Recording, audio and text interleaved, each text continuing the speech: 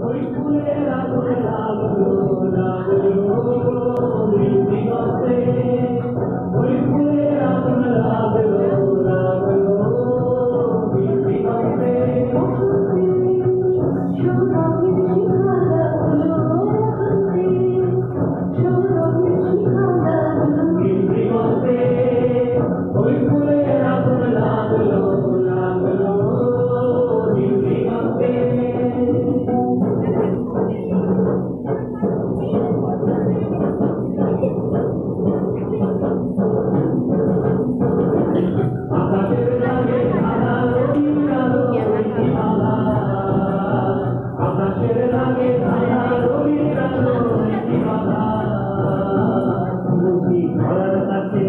Thank